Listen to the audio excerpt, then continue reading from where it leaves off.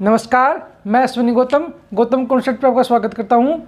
और साथियों, आज मैं आपके लिए लेकर आया हूँ एक बहुत इंपॉर्टेंट टॉपिक आज हम बात करने जा रहे हैं बैलिस्टिक मिसाइल और क्रूज मिसाइल में क्या अंतर होता है। What is the difference between ballistic missile and cruise missile चलिए वीडियो को स्टार्ट करते हैं।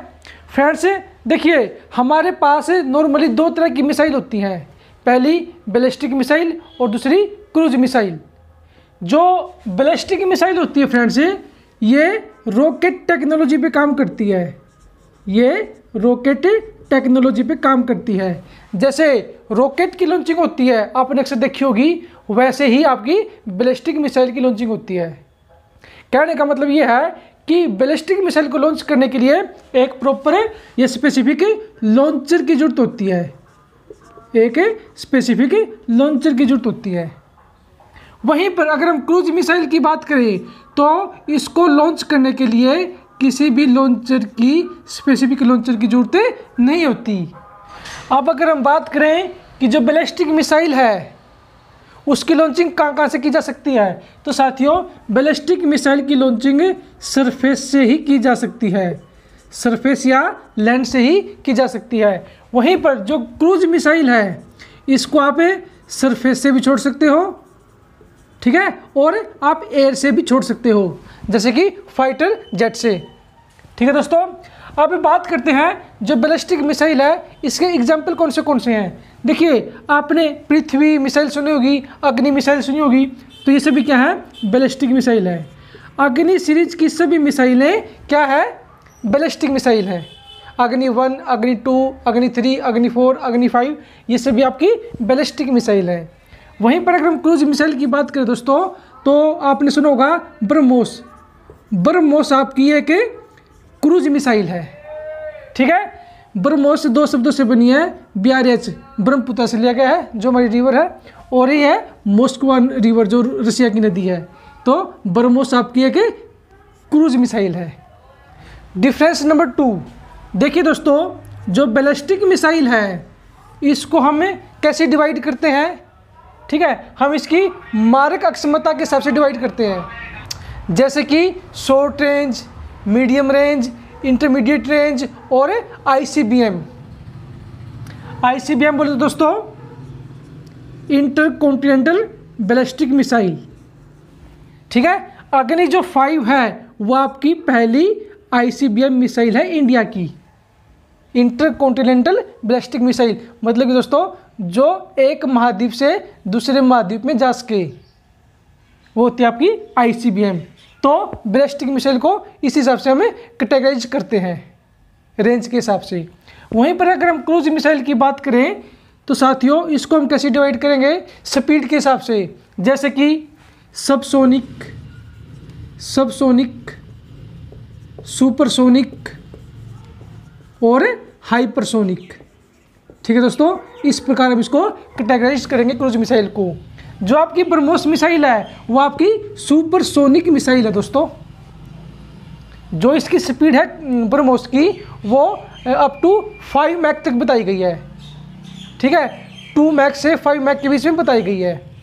तो ये है कि क्रूज मिसाइल आपकी ब्रह्मोस और जो ब्रह्मोस टू वर्जन आ रहा दोस्तों, वो हाइपरसोनिक बताई जा रही है। क्योंकि जो उसकी स्पीड होगी, वो फाइव मैक से ज़्यादा होगी।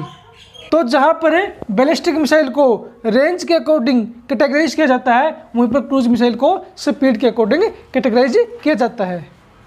डिफरेंस नंबर तीन। बैलिस्टिक मिसाइल को एक बार लॉन्च करने के बाद, इसकी दिशा परिवर्तन असंभव है इम्पॉसिबल है। इसकी डायरेक्शन चेंज नहीं की जा सकती। ठीक है दोस्तों, इसकी जो डायरेक्शन है वो चेंज नहीं की जा सकती।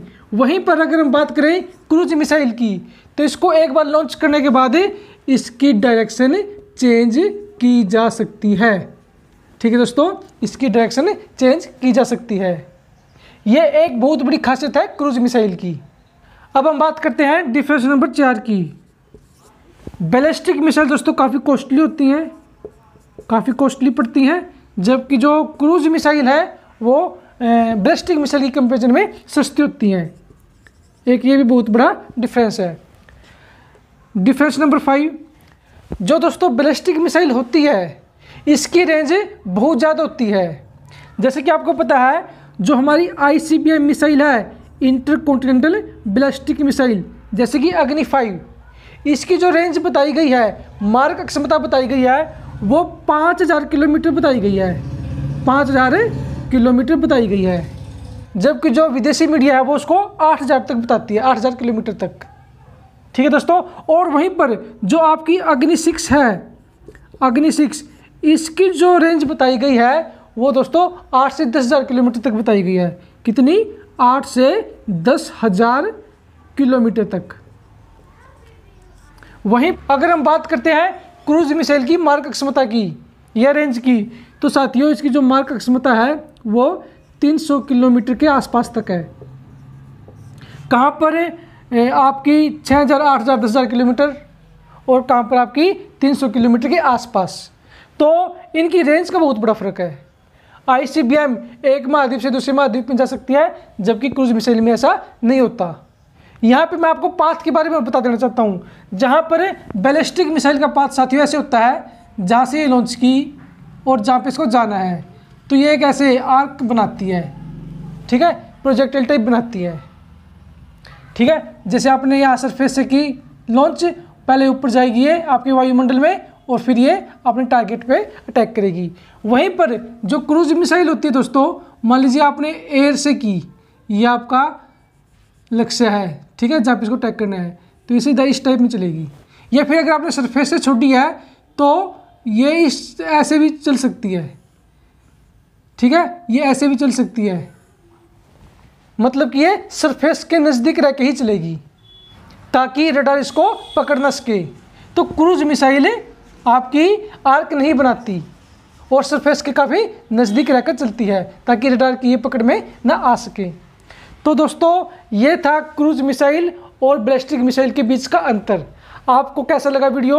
अगर आपको कोई सजेशन है तो आप कमेंट बॉक्स में दे सकते हैं। आज के लिए इतना ही। Thank you have nice day